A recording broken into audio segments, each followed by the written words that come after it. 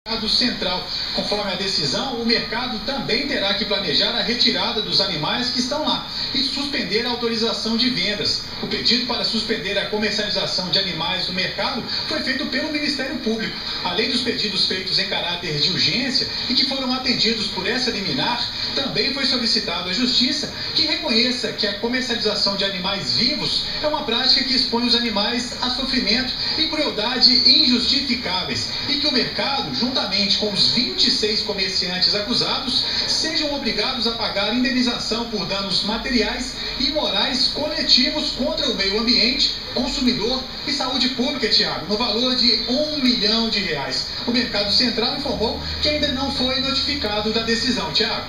Magno, Mercado Central, que é o cartão postal aqui de todos nós mineiros, né? Muita gente que vem de fora, assim como São Paulo tem o Mercado Central, a gente também tem o nosso. E esses animais, quando a gente passava ali com um turista, algum colega que vinha de outro estado, a gente sempre tapava o nariz com o odor que vinha dessas gaiolas. E segundo agora o Ministério Público, esses animais que estão expostos ainda aí dentro do Mercado Central, que foi criado em 1929, se eu não me engano, início do século XX, estão aí trazendo problemas principalmente para os animais. É falta de higiene, água até e alimentos para esses animais. Medida polêmica feita aí pelo Ministério Público e nós vamos acompanhar a partir de agora toda essa história, continuar acompanhando essa novela dentro do Mercado. Central.